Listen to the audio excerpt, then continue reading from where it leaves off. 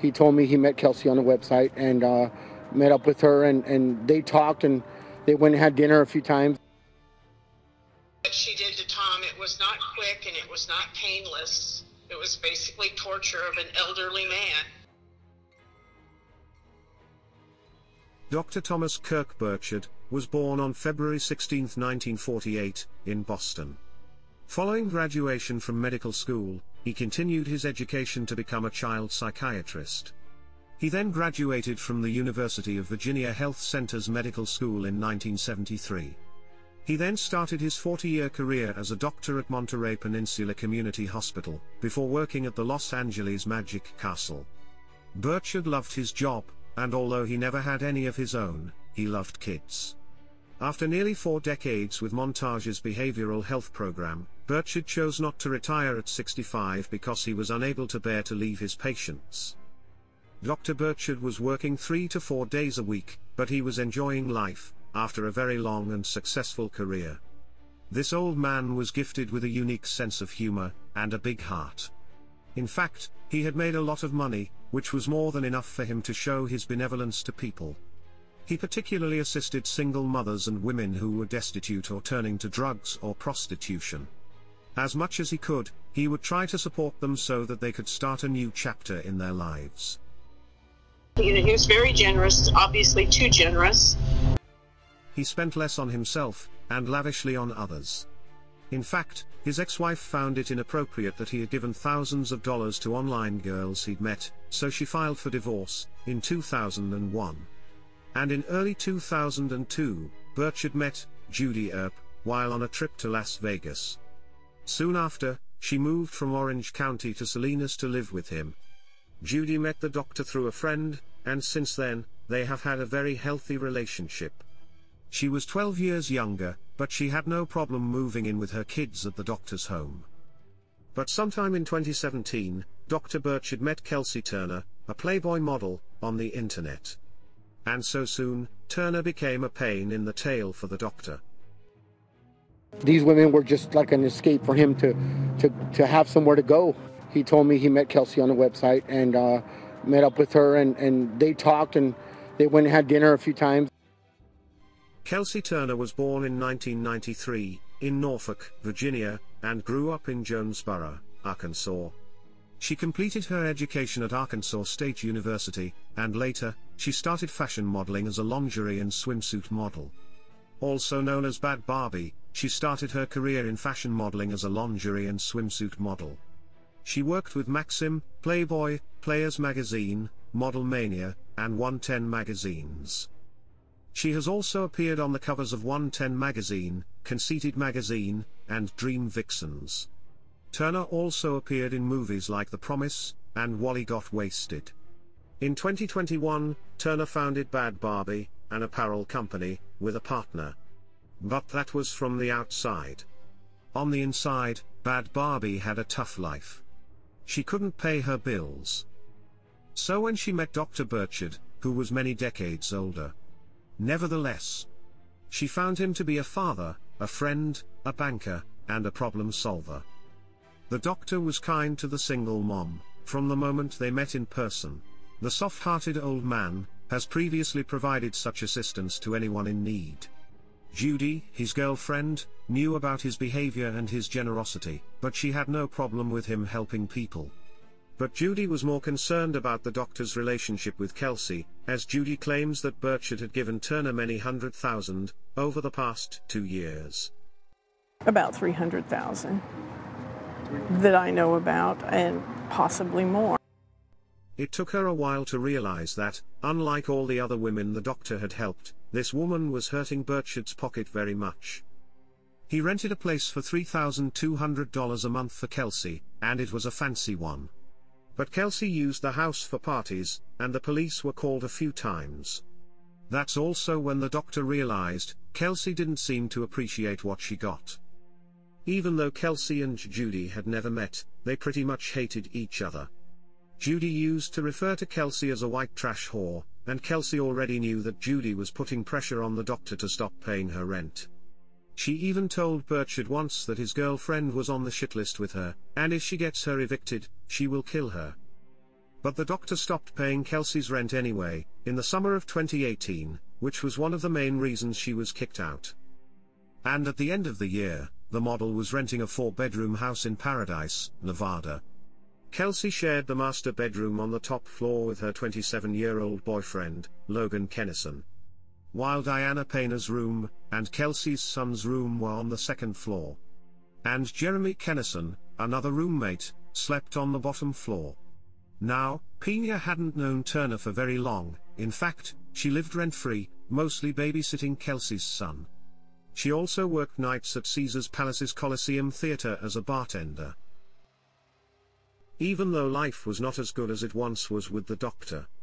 Obviously, Burchard was still in contact, and was even helping here and there, but Kelsey was still living a life that she could never afford.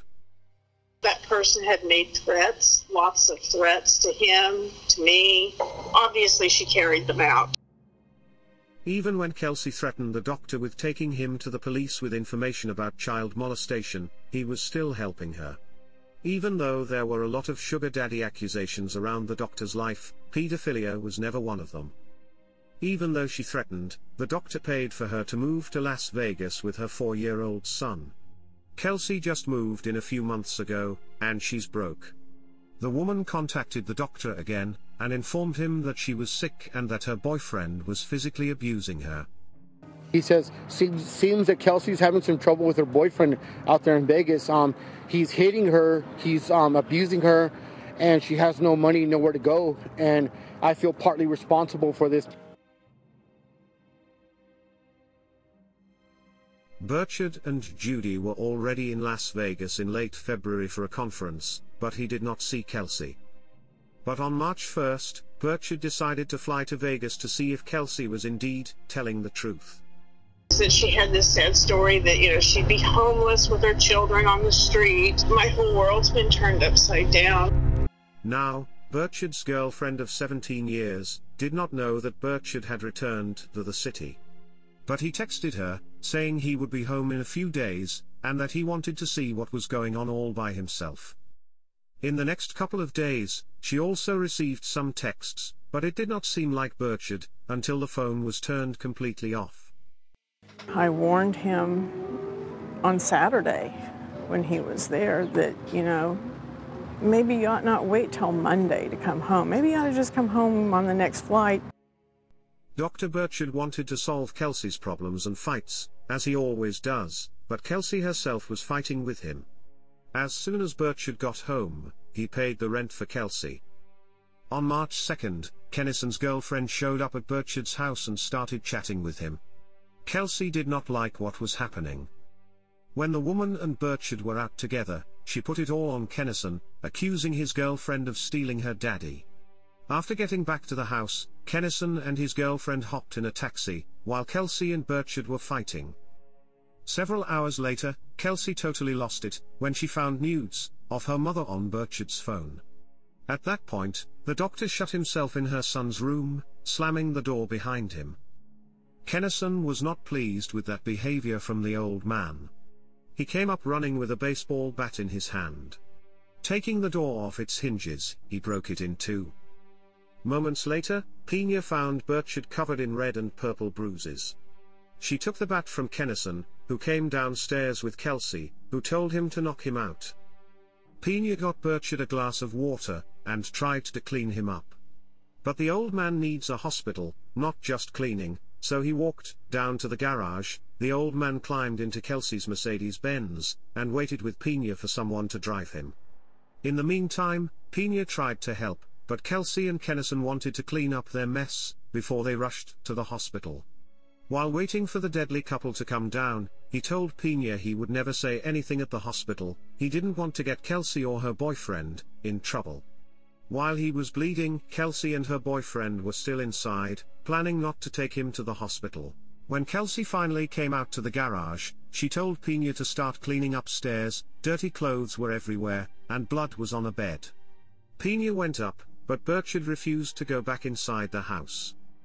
At that point, they're arguing about leaving, and Pena heard Kelsey tell Logan to knock Burchard out. Pena ran into the garage and came out, but it was too late at that point. Kennison walked up to her, soaked in blood. His arms, face, shirt, and pistol were all covered in blood. Totally confused, Pena walked back to clean up, and the couple discussed what to do with the body. According to their cell phone recordings, Kelsey drove up I-15 in her blue Mercedes, then eastward on Highway 47. Around 12.38 am, she stopped near the highway, for over an hour. Then, at around 2 in the morning, Pena drove up into that same area. A few minutes later, Kelsey's and Pena's phones moved from the area. That night, Pena stayed at her boyfriend's house, along with Kelsey and her son. The next day, they returned to the house to clean up some more, then checked into Rio All Suites from March 4th until March 9th. She likely left on March 8th, and for the next few nights, they stayed at friends' houses. And another motel. At the time, Kelsey was working at the Coliseum, and she didn't show up for her shifts, nor did the doctor return home on Monday, as he had promised his girlfriend. I told them repeatedly that these are not, you know, the people you, the kind of people you want to be associating with. The last time Judy heard from Burchard was on March 2nd via text message. So she reported him missing and told the dispatcher that she feared for his life. I believe that she killed him. As more time was going on by and he didn't make any contact with anybody, that, you know, something bad had really happened. Patrol officers then conducted welfare checks on March 3rd, 4th, and 5th. But every time, officers couldn't contact or find Burchard or anyone at the house. On March 5th, officers couldn't get an answer at the unlocked front door and got in. There was nobody there, and cleaning supplies were spread throughout the house, which suggested the occupants were moving out. And according to the landlord, Kelsey rented the place in December of 2018, and her lease wasn't set to expire until June. The house was searched, and several items of evidence were recovered. There was also a damaged door in an upstairs bedroom. The door appeared to have been ripped from the hinges and broken into two pieces, with blood on both sides.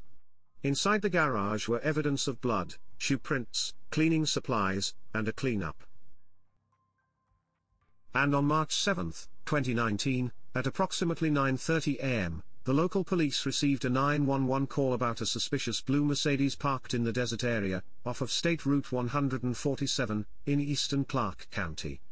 Officers were dispatched to the area, and located the car centered on a dirt berm on the side of the road. The vehicle was registered to Kwon in San Francisco, and he did not report it stolen. There were several latex gloves on the right front passenger seat and evidence of a small fire. In the back seat, there was blood on the headrest, and the headliner had small holes or tears. Using the push-start ignition, officers started the car and opened the trunk, which was stuffed full of clothes and bedding. Detecting a foul smell, the officers moved the clothes, and saw something that looked like the dead body, of an older white male. The dead body, later identified as Thomas Burchard, was removed from the trunk, and the car was towed to the crime lab. There was a lot of evidence recovered, including latent prints, DNA swabs, blue latex gloves with blood on them, clothing with blood, and Burchard's vest. A matching blue and white striped bath towel, from her house, was also one of the items removed from the trunk of her car.